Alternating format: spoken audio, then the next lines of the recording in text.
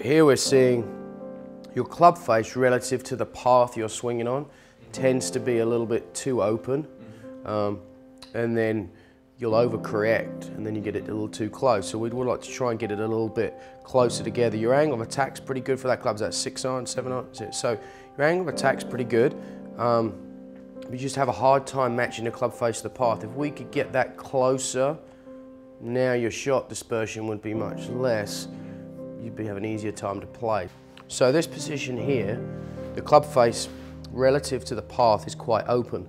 Okay, we'd like to see it a little bit more like this. Okay. And then from there, then you would just rotate your hips and torso and pull through, and now the face of the path would be closer to zero. Okay. Okay, so it'd be a better match. Now, there's different ways to do it. Some players like to get the face, they get to the top, they do a little bit, they go into flexion a little with their left right. wrist, as they come down, they get the club in this position. Mm. Okay, so now it's sort of parallel, a reference point, it's parallel to your spine. Right. Okay, and then you just go ahead and then rotate through, your body releases the club. Mm. Conversely, some people, you tend to prefer a slightly cupped position at the top. Mm. Something wrong with that, you're just going to have to do that much more. Right. Alternatively, you could get the left wrist a little flatter, more in line with the shaft in your left arm, so that now when you came down, as this comes, face will get a little bit more there on its own naturally. Right. Okay, either way, there is no one way to do it. You just got to figure out which you prefer. But what I want you to focus on is halfway down in the downswing,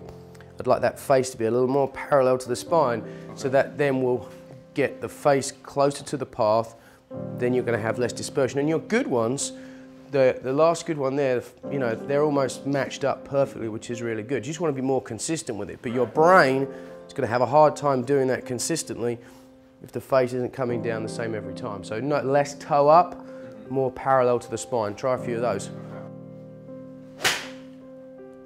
Okay, so the face was better on the way down, you just helped it a little with your hands, hence the hook. The goal here is, see how we've alleviated, there's no right, those shots, none of those shots have gone right. So obviously we've eliminated one side of the course, it's easy to play with one miss, but once this face is here, you'll be able to have the sensation a lot more through impact. Face is square, your hips turn, your torso turns, and it's much more of a hold in the release. Mm -hmm. It's much less need for a lot of face rotation. Right. The more stable this face is going to be through here, mm -hmm. Tighter your dispersion on shots, more consistent you'll be. Just keep doing that, you're doing good. Better, and now's a draw. Yeah. That's really good. So you've overcorrected, which is a good thing. At least you're listening and you're doing what I want you to do. But we want to see this number face to path closer to zero. And the face angle number being that far left also tells me that's you slamming the face shut. So we can get those, the face is probably going to be a little closed, that's okay, but let's get this face to the path uh, closer to zero. That's going to stop the left shot. So you're going to definitely need to have a sensation of holding through, through there and that'll make this number get more towards zero. Okay?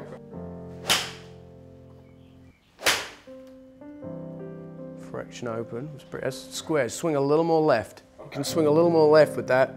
You're going to make, that's going to be really good. That was pretty much a straight push.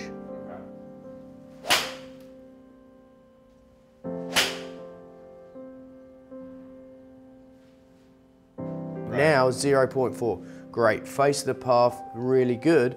Got the nice shot out there. Mm -hmm. That's going to make your dispersion way more consistent mm -hmm. through the bag. That's not just with a six or a seven iron, but right. with every club, if you can get that relationship better, you'll have more ball control. But that's, mm-hmm. that's really good. So whatever that feel is to you, right. we need to duplicate that. Okay. All right.